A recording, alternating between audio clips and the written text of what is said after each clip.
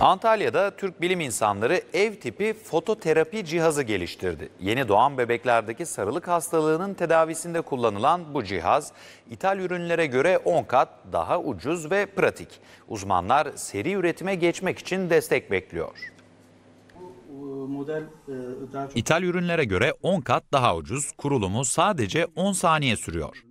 Türk bilim insanları yeni doğan bebeklerdeki sarılık hastalığının tedavisi için ev tipi fototerapi cihazı geliştirdi. mavi ışıkla ilgili çok fazla e, cihaz var ve bu, cihazlar oldukça pahalı ve çok büyük cihazlar. Bizim cihazımızın özelliği evde uygulanır olması, çok pratik olması. Dünyada e, benzeri yoktu bizden önce. Bizden sonra bizim ürünümüz taklit edildi. Proje Antalya Akdeniz Üniversitesi Tıp Fakültesine ait.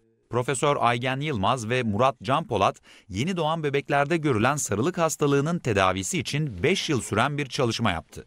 İthal ürünlere göre daha az maliyetle bir fototerapi cihazı geliştirildi. Ev tipi kullanıma uygun olan bu cihazdan İzmir, İstanbul, Kayseri ve Bursa'ya gönderildi. Pandemi nedeniyle istek arttı. E, Çünkü aileler hastaneye gitmek istemiyorlar. Salgı nedeniyle e, virüs anne ve çocuk için risk teşkil ediyor.